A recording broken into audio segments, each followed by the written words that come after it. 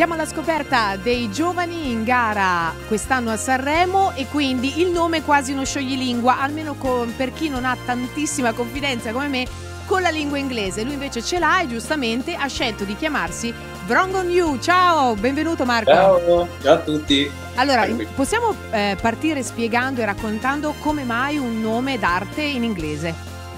Ma perché ho cominciato col canto dorato in inglese, ho sempre ascoltato musica straniera, insomma per casa tramite pure i miei genitori ho sempre girato musica straniera e quindi mi è venuto spontaneo iniziare in inglese, poi è iniziata la cultura con l'italiano un paio d'anni fa diciamo. E se non ricordo male, tu sei stato notato sui social. Sì, cioè, ci sono state due avventure capitate proprio tramite internet, queste, queste diavolerie contemporanee è stata una mentre avevo messo delle canzoni a offerta gratuita su SoundCloud, quindi se, scrivessi, se avessi scritto zero avresti scaricato il singolo gratuitamente oppure a seconda del numero che mettevi mi arrivavano dei spiccioli su, su un conto. E mi sono ritrovato un giorno una sterlina e 50 che poi ho scoperto che era di un professore di sound technology di Oxford che mi invitò a fare a fare appunto un disco lì, poi non è mai uscito, però è stata proprio un'esperienza che mi ha fatto scattare la scintilla di dire no, io voglio fare questo nella vita, viaggiare, suonare, cantare, assolutamente. Però... E poi un'altra che tra l'altro c'è pure una ricorrenza oggi, che ci ha ricordato Instagram. Io, eh, cioè, anche tramite i social, io ho firmato diciamo, con la mia casa discografica, sono stato contattato sulla pagina Facebook di Verongo New da, passami il termine romano, che non me ne vengono altri, da il Capoccia, della, della mia casa discografica che è Carosello Records e oggi inizia Sanremo al quale partecipo. Io ho firmato esattamente oggi 5 anni fa con la casa discografica quindi magari c'è qualcosa non lo so tanti auguri possiamo dire tanti auguri per questi esatto. primi 5 anni insieme. Però prima hai detto sì. una cosa io mi permetto di dire eh, un po' riduttiva o inesatto o meglio tu hai detto nella mia vita ho capito che volevo fare musica ma tu non sei solo questo sei anche un attore sì, eh, insomma, lo sono stato, poi non so se lo risalò in futuro, però sono usciti degli sketch mi hanno fatto tanti complimenti, quindi magari sarà una porta che si riapre, però ho avuto la fortuna di lavorare nel film di Alessandro Gasman, eh, Il Premio, appunto lui è sia protagonista che eh, regista e scrittore insomma, del film insieme ad altri autori e c'era insomma nel cast, primo fra tutti, tutti i proietti con i quali ho passato dei mesi bellissimi insieme che non scorderò mai. Direi che ti sei fatto in questo modo un grandissimo regalo. Tra l'altro del premio hai curato anche la colonna sonora. La colonna sonora, sì. Inizialmente infatti Alessandro mi aveva chiamato per mettere delle canzoni già esistenti.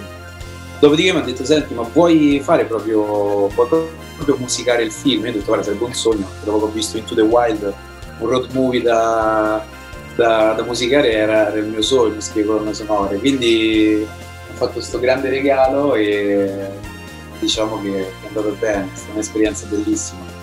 Va bene, ora che abbiamo rotto il ghiaccio direi che possiamo andare ad allenarci in un campetto di basket. Questa volta puoi fare contro di me, dove forse puoi avere la meglio. no, non, mi riferisco... le pizze sto giro. Spieghi- spieghiamo la cosa, no? Perché hai parlato di sketch, no? Sketch che hanno avuto un grandissimo successo. Uno di questi è con il capitano della nazionale di basket italiana. Diego Gigi Datome, siamo amici da, da, un po' di anni, siamo conosciuti tramite Instagram e non sapevo che lui fosse un fan, proprio che mi seguisse. Il giorno prima di un festival importante all'estero, che era il Primavera Sound di Barcellona in Spagna, mi dice oh peccato che cavolo ho i playoff che sarebbe la fase insomma, finale del, del, campionato di basket non riesco a venire e io faccio ma chi è che mi ha scritto? sono andato a leggere chi era? E Gigi mi ha fatto parecchia miseria quindi da lì da qualche annetto poi era, era appunto uno degli ultimi giorni de, delle riprese del film di cui parlavamo proprio appunto del premio e da lì insomma siamo diventati sempre amici di penna perché ci siamo mai visti poi è venuto a presentare il suo libro a Milano e ci siamo conosciuti di persona abbiamo cenato insieme. E adesso che gioca con l'Olimpia Milano che siamo, viviamo entrambi lì c'è un modo proprio di frequentarsi è una persona incredibile perché è sì un grande sportivo ma è pure molto intelligente, acculturato, segue mille progetti, è una persona molto sensibile quindi aver comunque sia anche detto di sì a fare uno sketch un po' scemo come quello che è stato il mio, l'allenamento per Sanremo, ti fa capire insomma la caratura della persona. Comunque, se vuoi, io continuo a essere disponibile per rifarti, cioè poter far vedere al pubblico che in realtà c'è chi è peggio, almeno a livello cioè, sì, mi metto, faccio un po' di mosse e poi vediamo cosa, cosa succede. Ok, scherzi a parte, torniamo invece sulle cose importanti. Lezione di volo è la cosa più importante di tutte, ti chiedo quindi di commentarla per noi. Sì, allora, Lezioni di volo è una canzone che ho scritto durante il lockdown, per il quale sono molto fiero e allo stesso tempo, nonostante è una canzone nuova, no? perché alla fine l'ho scritta un anno fa, stanno nel cassetto canzoni che restano lì per anni, poi escono.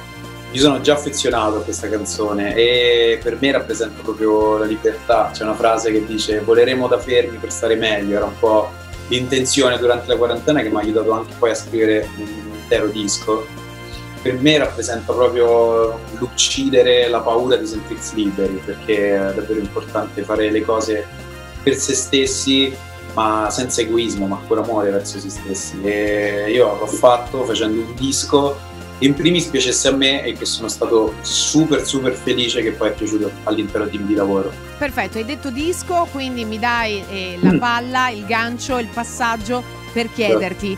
Pochi giorni poi esce l'album. Sì, il 12 marzo uscirà il mio nuovo album, dove ce l'ho, non so, al contrario di Dall'altra qua. parte, bravissimo. Sono io, che nuovo specchio, è difficilissimo.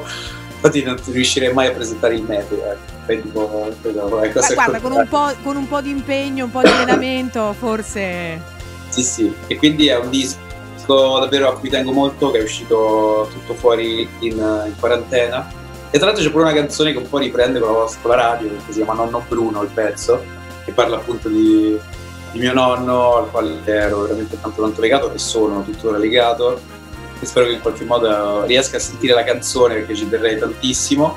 E è un disco dove sono riuscito, come dire, a essere più sincero possibile, perché un pensiero che ho fatto anche durante il lockdown è stato che le canzoni che più sono arrivate al cuore sono state proprio quelle che io ho scritto in poco tempo, in 5 minuti, in modo spontaneo e in modo più sincero. Per chiudere questo collegamento ti chiedo quindi eh, di, di, salutare, occhio a non dire nonno Bruno, ma gli amici di Radio Bruno. Poi se vuoi dire anche nonno Bruno, nonno Bruno e gli amici di Radio Bruno. Insomma, comunque Radio metticela, ecco, un sì. saluto personalizzato, vai. Ciao a tutti, agli ascoltatori di Radio Bruno e un saluto anche a nonno Bruno. Eh, io sono Bronco New e buon festival a tutti quanti. Sanremo 2021 in collaborazione con B per Banca, Encaplast Packaging Solutions, Audi Zentrum Modena Schiatti Motor, ODS Giocattoli, Cantina di Quistello dal 1928, Supermercati Famila, con noi sei in famiglia. E Marluri Caricamore